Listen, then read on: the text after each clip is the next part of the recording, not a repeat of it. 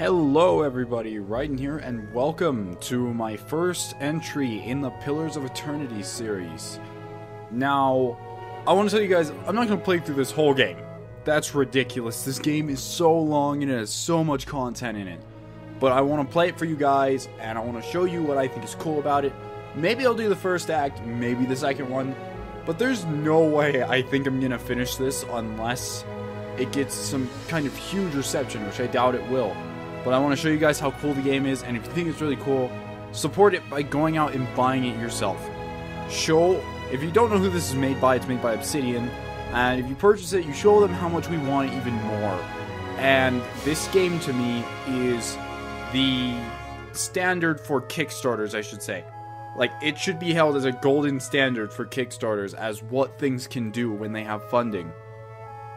Now, if you don't know what a Pil- uh, Pillars of Eternity is, it's an old, uh, what is it called, a CRPG? Like Baldur Gate, Neverwinter Nights, or Torment? I happened to play a lot of those when I was young, so this brought back, it's a nostalgia factor which helps, but it, I also rate the game fairly on things that I think it should have. It's a modern take. So without further ado, let's start a new game. Now, in Pillars of Eternity, we're going to choose difficulty. I'm just going to go normal. You have Trial of Iron, which is you only can keep one save file. If the player is killed, it is deleted. And there's Expert Mode, which de uh, deletes a bunch of like the helper icons, but I'd prefer to have those. So, ahead of time, I'm going to warn you guys that this game has a lot of dialogue. And don't worry, I'll narrate what isn't voice acted. The good part about this game is that it voice acts it voice acts more than the old CRPGs does, but I feel like there's not enough there. Like it, it's kind of weird that in conversations you'll be talking and they'll voice act out maybe three of their lines, and then for the next five lines you're just reading it, and it, there's no reason specifically why they only voice acted those lines. I have played a little bit of this game. I haven't played it too much, so I will Five have wagons to. grope blindly for the path on a starless night. Their master glancing ever upward to the skies for assurance that he is on the right course. A dim lantern his only protection against the encroaching darkness. But the skies bring no comfort, shining no light, betraying no hint of what they know. The caravan carries travelers bound for the frontier hamlet of Gilded Vale, you among them where a local lord has offered land and wealth to settlers from abroad looking for a fresh start. You have taken suddenly ill, sweating and shivering, and one of the other travelers signals for the caravan master to stop on your behalf. He pulls up just in time to avoid plowing into the trunk of a fallen tree that bars the way ahead. You will go no further tonight. So what you just heard is our classic dungeon master type narration. I think that's pretty cool that they have that in there. But in a lot of scenes they don't. One thing that I love about this game in particular is okay, so the character creation is great. It's insane to me. I already knew what I was going to be when I started. I knew what I wanted to do when I started. So I'm going to be a male. We have male and female, but then we go on to the races. Oops. I didn't did I skip the race? I did. Okay, so for races we have humans. I'm only going to go over the races if I pick them. I'm not going to read the entire entry for each one. You have uh, Aumaua, which are kind of like a cat person. You have your dwarves, your elves, just like everything else. You have Orlan, which are kind of like your halflings. And my personal favorite, although I'm not going it, is the godlike race. And I'll get to that. I'll get to how cool these guys are when I go and create a character because my party is going to be made out of two pre-composed character or three pre-composed characters and then three characters that I can find just here and there along the way. So, yeah, sorry about that. so I wanted to go Aumaua, and the coolest thing is that there's sub races. So I wanted to be this blue avatar looking guy. I like it. So in my own solo campaign, I went monk because I was like, oh, monks are super cool. That's what I want to be. And I think a lot of Let's Players tend to skip around the monk because they're like, oh, it's the monk and it's hard and it probably just sucks a late game. And the only thing with the monk is that you have to get wounds. So you have to get hit as a monk to use a lot of your skills. So I don't think I want to go. I yeah, I'll go the monk this time around. I'm gonna play this originally just like I did before. And as the monk, you have two starting skills, which are Swift Strikes and Torment's Reach. Both requires a wound to use. I personally prefer the Swift Strikes. That's just me. Okay, here we have our attribute selection screen. You have your might, which is your damage and healing. You have constitution, which is endurance and health. You have uh, dexterity, which is your action speed. Perception, which gives you a chance for interrupt, deflection, and reflexes. You have intellect, which is your area of effect spells, your dura- your duration, and your total will. And then lastly, your resolve, which also has a deflection score, concentration, and will. So if you can see here, it tells you the most important things for the class that you want to go. And then like a side thing, like I don't need to focus so much in might. So I'm gonna do what I did before. I'm gonna put quite a few points into this. I'm gonna turn my might up a little bit. Now these three, uh, it it really depends on what you think is most important for you. I personally like the resolve. I want to put some in that because the deflection scores are super nice to have. And if you don't know what deflection is, I'm going to go back and look at it. Deflection is defense to, ra- to use to direct melee and range attack against the characters that are not in your area of effect. It is a super useful attribute to have. Now you can choose your culture, which adds plus one anything onto it. I prefer to get the extra dexterity I mean, Resolve is nice too. I might try the Resolve this time around. Uh, we're from the Ex Ixamitl Plains, located northeast of Eir Glanfath. The only reason I'm not reading this so much is because you can read it yourself, first of all. And secondly, I want to get to the story, and if I read... I love reading lore, remember that. But if I read every single thing, character creation is going to take me two hours. So, I'm going to do that. Now you can choose your background, and this adds your side skills. And if you're familiar with Dungeons and Dragons or Pathfinder, you might know some of these. For example, if I'm an aristocrat, I have extra lore. Which, what lore is, is say you come across like some ancient ruins. It's like, oh, I don't know what these ruins mean. And then you're like, wow, I know what they mean. It's like, wow, you're so smart. Yeah, it's not like me in real life. Then there's stealth and survival. Survival's like food. Stealth is kind of obvious. You have athletics. Athletics are super important for a monk. So I usually go athletics and lore just because I like the idea of lore. I love the skill of it and just being like, hey, I know what this is. And I love athletics because it allows me to get out of situations quickly. So my favorite portrait is this one because it looks a lot like this character I already have. But I want to choose his colors. I want to make him green, just kind of like in the picture. And his secondary color is red, like this darkish red. I want his skin to be a lot lighter. And the hair can be the same, but I want a different style of it. See if I can find the style I had. It was this one. So there we go. I have that now.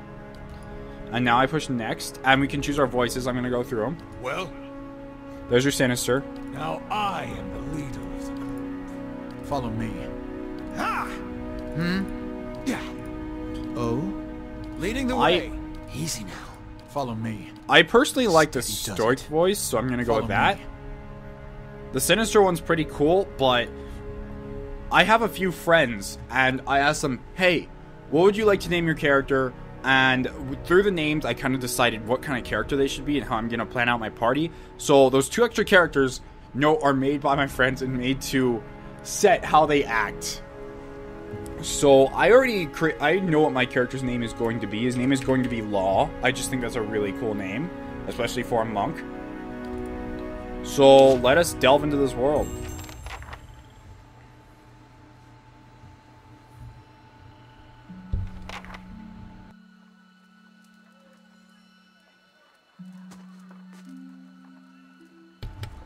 The caravan master finishes addressing the group, his bushy red, must sagging jowls quivering as if for emphasis. Everybody stays close to the wagons, got it? Stay out of the woods, and beasts take you if you were planning a stroll through those ruins up there. He nods toward a looming black mass on the hillside. Whole area's crawling with hut-dwelling types who'd be happy to stick an axe in you for trespassing. So mind that you don't track mud on their sacred blazing rocks.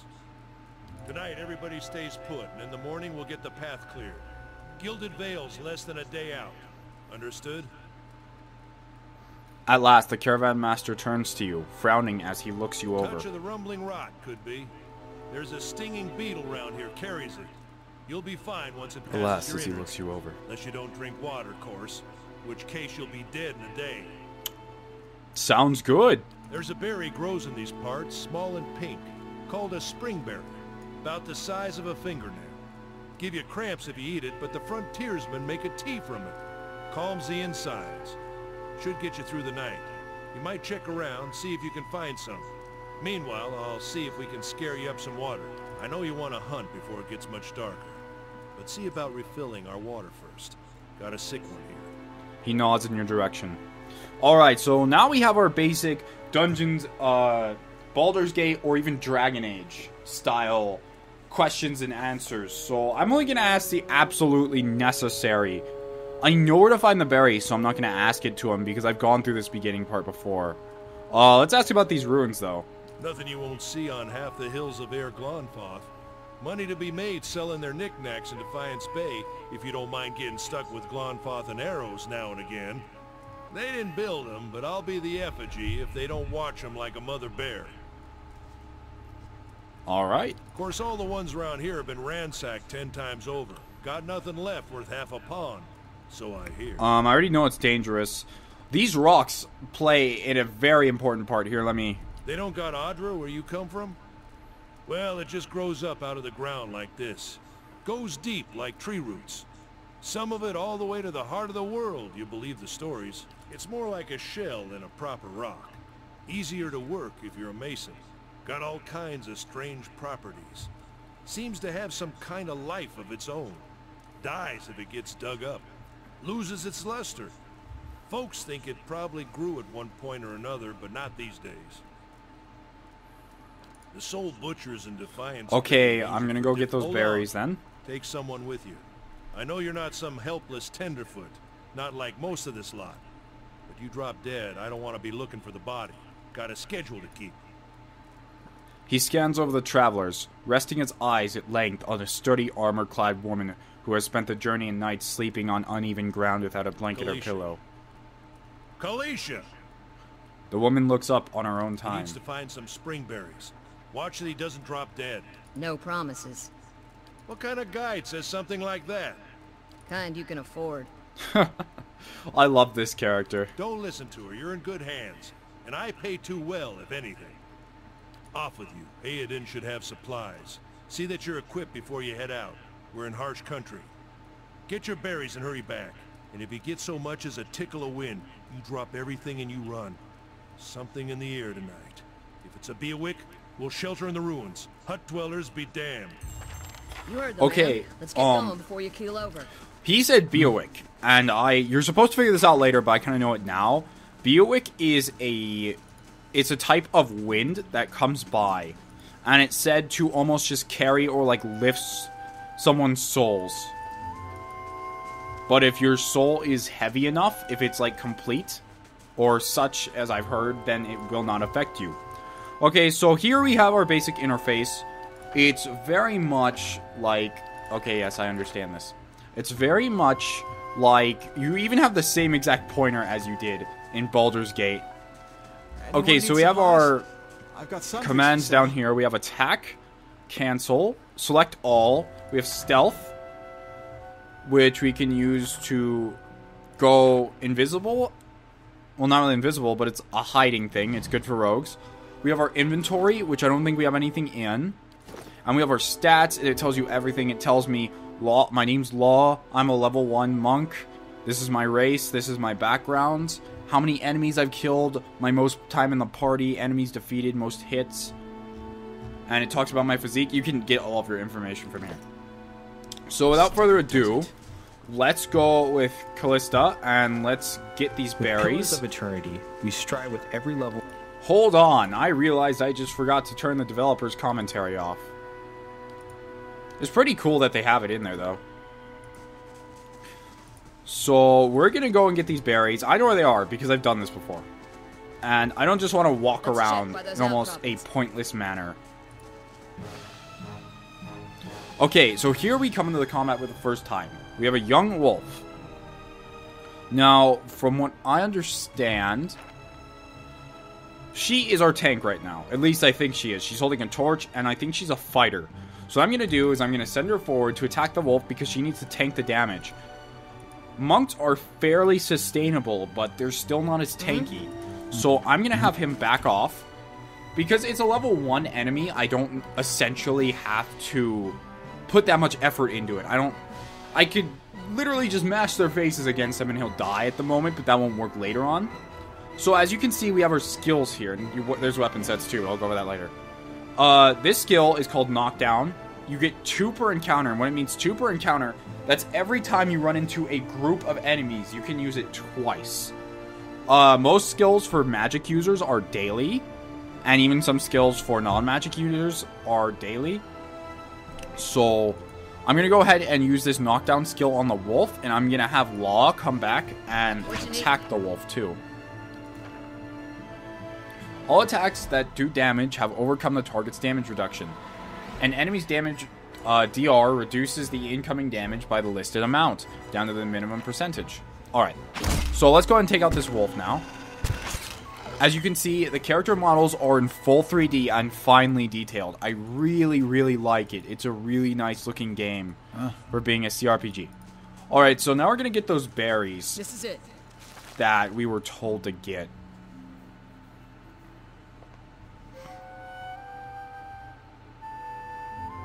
Now she's going to ask us a few questions about what we did. You look like you've seen your share of action. What'd you do before you came out here? I was a war veteran. I was a blade for hire. I used to go on adventures. I was a constable. That isn't your business. I'm, I'm not going to be a jerk. I'm just going to say I used to go on adventures, expeditions. What happened? How come you got here? Got into a bar fight with someone with the spare time and resources to punish me for the rest of my life. Uh, had a job go bad on me. Some deaths that didn't need to happen.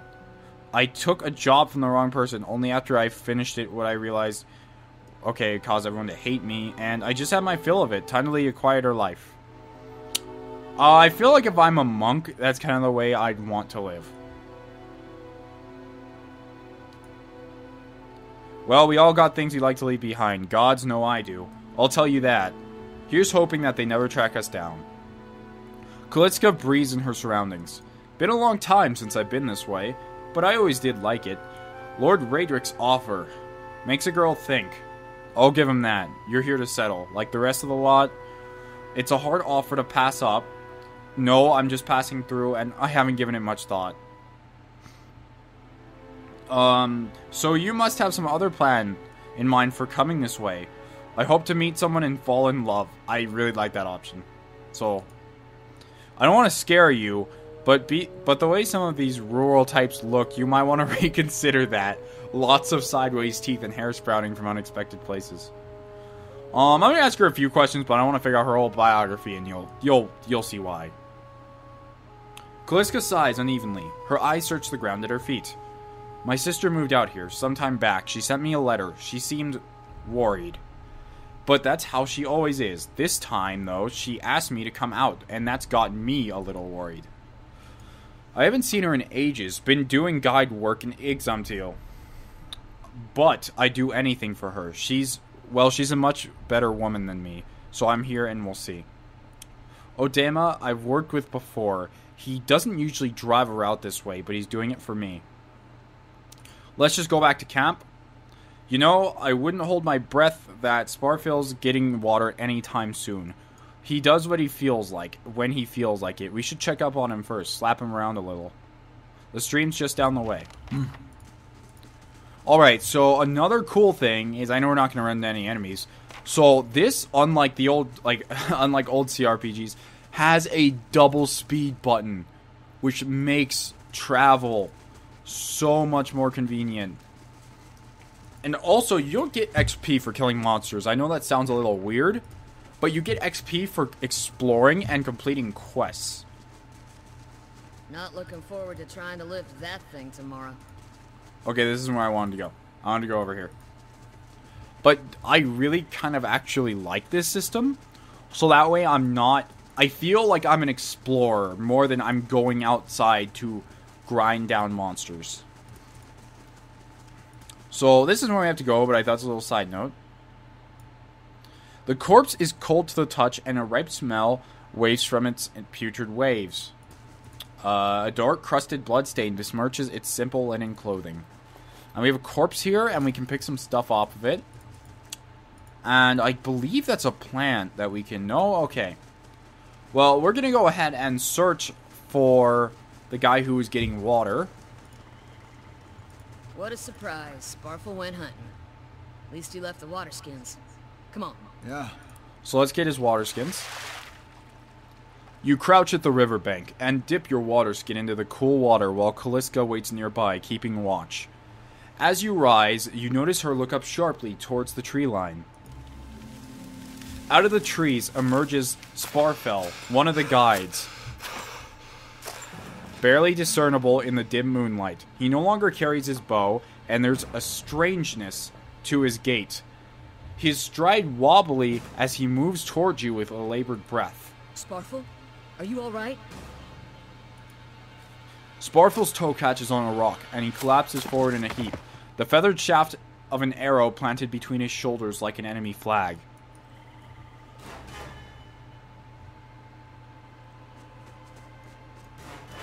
Ambush! Okay, so now we're taking on two enemies. So late in the game, you're going to want to try and have as many enemies focus the tank as possible. But since it is a 2v2, I'm going to have my monk actually charge the ranged unit. Because remember, here are the priorities that's always been in Baldur's Gate games, and I'm going to tell it to you now. In order, you want to get mages over archers, over healers, over tanks. Rogues, it depends on how strong the rogue is. So, I'm going to have her knock this guy down immediately upon fighting. And he's going to charge the hunter. Sometimes a weapon or spell simply isn't do- suited to doing... Suited to penetrating an enemy's... Enemies, oh my goodness, am I talking? An enemy's damage reduction. When the attack hits, the DR will wipe out all but a small percentage of the incoming damage. You'll hear your characters complain about that when it happens. Take heed, note the damage type that's being blocked, and switch to a different weapon or spell. So, that could be just because the type of spell she tried to use, it just didn't work. So we're just gonna have her melee attack that guy to death. In the meantime, let's see if he attacks me so I can get a wound. This counter right here, only monks have, and it's a wound counter. You need it to use your skills. Other classes don't need that, but in order to use monk skills, you have to get hit first. So that guy had mm-hmm. 17 gold on him. That's pretty good. And had a jewel and some armor. So let's get back to the camp because nothing good can be happening over there. If we're under attack, we really need to check on the camp because... Oh, here we go. Alright, I'm going to send her forward to attack this hunter. And she's going to draw all the aggro from everyone while I worry about this guy. I'm going to have her try to use spell again. It may not work. I don't know. Oh, she actually got knocked down. It's no good. Okay, so I got that first guy.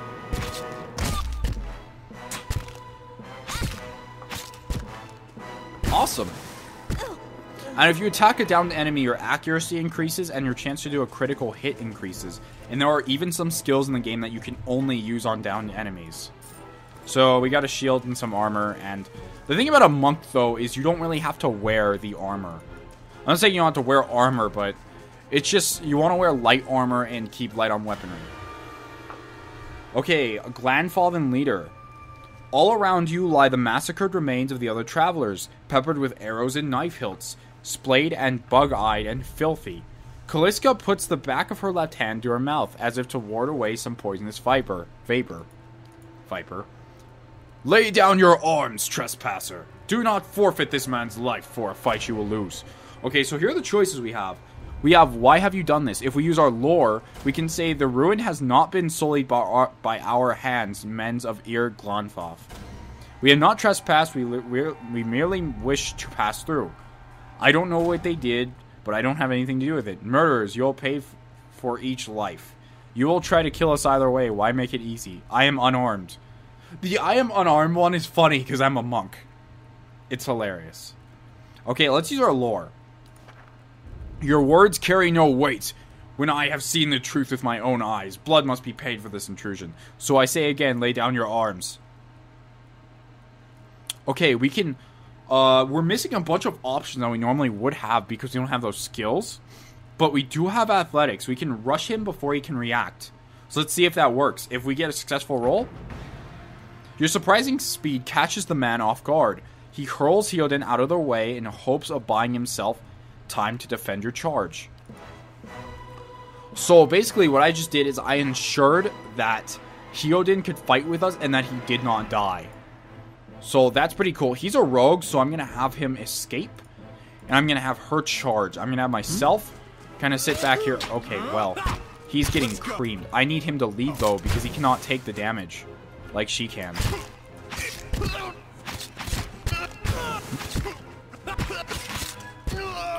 So this isn't the most efficient way to do this, but we're gonna get we're gonna get it done this way anyway. So we got them all. The Glanfathan leader. Your enemy lies, supine on the ground, unable to rise. His companions now silent among the other death, or the other dead. His breath comes wheezing, fitful gasps. He looks not at you, but at the sky above you. Forgive us. Barely audible beneath his choked sighs, a whisper of wind stirs in the air. See, there's wind on screen. That's pretty cool. At this, the man's eyes roll back as he closes them. Good, good. The gods are just. A queer smile crosses his face. My body is ready. I mean, I am ready. I wasn't even trying to make a joke. I seriously said that like. oh my goodness. Alright, well. The wind begins to swell, whipping around the camp, electric and volatile, upending pots and rattling tents like an angry spirit. You can feel it begin to seep beneath your skin, and where it pierces you, it feels as though it's rendering you apart, rending you apart from within. Seated against a wagon wheel amidst the howling maelstrom, slashed across chest and bow, Odema's body stirs, and with great effort he raises his sagging head, his eyes barely open. He looks directly at you. Get inside! Run! You heard him. I don't need to read that. And this wind right here, if you're wondering what that is, that's the wind I told you about earlier that I can't properly pronounce. Straining against a gale that threatens to pull you off your feet with every step, you set your hands in the worn folds of feathered rock and set about pulling yourself up the precip precipice? Yeah. With a last burst of energy before your arms give out, you swing yourself up onto the ledge. Heodan trails behind, slowed by injury and is delayed by hesitation. As he nears the face of the rocks, one of the fallen attackers, who had been feigning death, lunges for Heodan and topples him quickly to the rocky ground. Restrained, Heodan lashes out against his fatigued assailant, but struggles to break his hold. I think that's a struggles to break his hold. I think that's supposed to be hold. Without a weapon in your hands, you can do little to help him from where you stand. Okay, so we we have two things. We can allow him to break free on his own and hope he's fine. Or we can use our dexterity skill and make a roll and hope that we can hit him with a rock. If you have a weapon, you can actually throw the weapon at him, but I'm a monk. So let's just go hope for the best. Your aim is true, and the hit jars Heodan loose. Lurching to his feet, Heodan clambers up the base of the rocks as he nears the top. However, the wind flares, pulling him sideways, tearing one of his hands free. But diving out onto the hard rock, you manage to catch hold of it, securing his other hand. You pull with waning strength, and it feels as though your arms will be jerked from their sockets. They hold just long enough for Heodan to set his feet, and join you on the trembling ledge. There is a deep resonance to the swelling wind below. You feel it in the rocks beneath your feet and inside the cavity of your own chest, as though it would shake the marrow from your bones. Each new gust menace, uh, menaces the old stones before you, loosening connections, unsettling balances. As you dart beneath the old archway, the entire portal begins to fall beneath its own weight. So, basically, we got attacked by some guys because we were accused of doing something to the ruins. Was that? And these guys are their job is to protect the ruins. A Biawac. Had to be. So yeah, that wind outside was a Biawac. We t- I talked to you about it earlier. And we're lucky to be alive. And we're the only ones. We can't stay here. There could be another collapse. We're not getting out that way anyway. Let's get further inside. All right. I'm going to end this episode here, guys. I hope you enjoyed the very first episode. There's going to be many more to come. As I said, I don't think I'm going to finish this because this game, it just doesn't get a lot of reception. And I love playing it, but for playing this for about, what, 100 to 200 episodes, I already have The Witcher going. I think I want to play a relatively short game. So that's why this is kind of be it's going to be around like a quick look, so it's going to be maybe around like 20 to 40 episodes. I don't know. So I hope you guys have been enjoying it. If you have any suggestions, leave them in the comments. And that's all I have to say. Thank you, and I hope you join me next time. Raiden out. People live close to the earth and the sky. sky, sky.